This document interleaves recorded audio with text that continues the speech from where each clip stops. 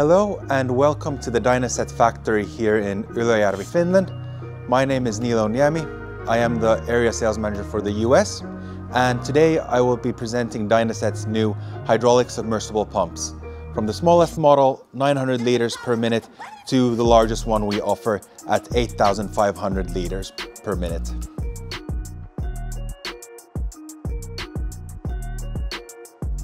So what is a hydraulic submersible pump? As the name suggests, it's a pump that's powered by a hydraulic system that can be placed in inside or submerged in a fluid source, and then the hydraulic system creates the suction to pump up the liquid. So how does a hydraulic submersible pump actually work? As said before, it uses the hydraulic system of a machine, vehicle, or vessel as a power source to create the pumping effect to lift the fluid that it's submerged in. Some of the key benefits of using a hydraulic submersible pump include that they are very compact and safe to use, and the robust design of it allows that it can also pump fluids and muds that include solid substances such as rocks. Other key benefits of the hydraulic submersible pump include that it's very lightweight and easy to move. This makes it a very versatile product. Additionally, it's safe to run dry, has no wearing parts, and is very low maintenance, which makes it a very reliable pump also. One of the largest differences of the new hydraulic submersible pump compared to the old model is that the height of the pump has been dramatically reduced.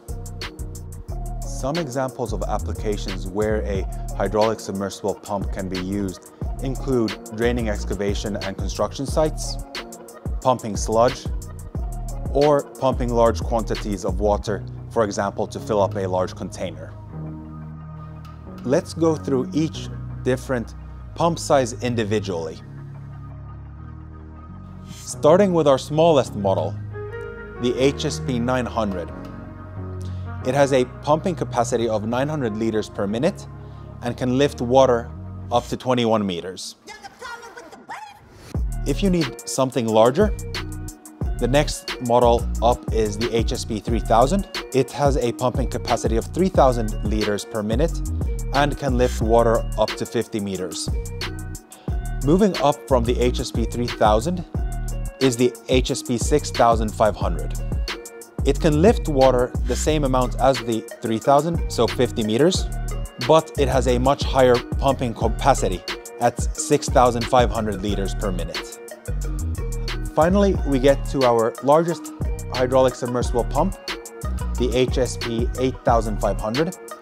It has a pumping capacity of 8,500 liters per minute, but it has a slightly lower lifting height for water at 40 meters.